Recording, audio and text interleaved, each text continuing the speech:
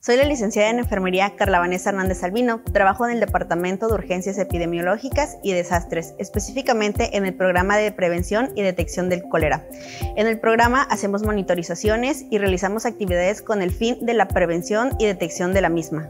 El día de hoy hablaremos de temporada de calor y golpe de calor. La temporada de calor se caracteriza por ser un periodo en el que la temperatura media del ambiente aumenta más de lo normal esto va desde el mes de marzo hasta el mes de septiembre. El golpe de calor es un estado ocasionado por la exposición a temperaturas elevadas, en donde el cuerpo es incapaz de disipar el calor y de regular la temperatura corporal. Cualquier persona puede padecer un golpe de calor.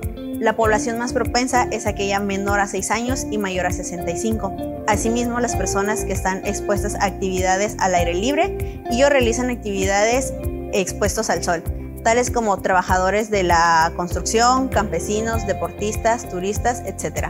Adicionalmente, las temperaturas extremas pueden agravar los cuadros clínicos de las personas con padecimientos crónicos, tales como enfermedades cerebrovasculares, cardiovasculares, respiratorias y las afecciones relacionadas con la diabetes. Para prevenir el golpe de calor eh, podemos seguir las siguientes recomendaciones. Evitar asolearse entre las 11 de la mañana y 4 de la tarde, que es cuando la temperatura alcanza sus niveles más elevados. Utilizar ropa suelta y de colores claros. Beber agua simple aunque no se tenga sensación de sed.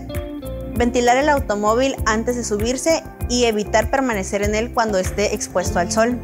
Utilizar bloqueador solar, así como gorras, sombreros y lentes de sol.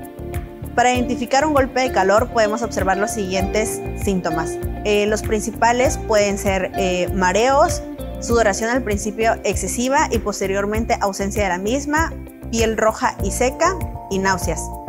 En estos casos se recomienda colocar a la persona en un ambiente lejos del sol y que esté fresco, ofrecer pequeños sorbos de agua, así como utilizar paños húmedos sobre la piel. En casos más graves se presenta confusión mental, pérdida del conocimiento y vómitos. En estos casos se recomienda que se acuda al centro de atención médica más cercana. Recuerda que la prevención es la mejor herramienta para el cuidado de nuestra salud. Para mayor información, acércate a los servicios estatales de salud, al programa de prevención y detección del cólera.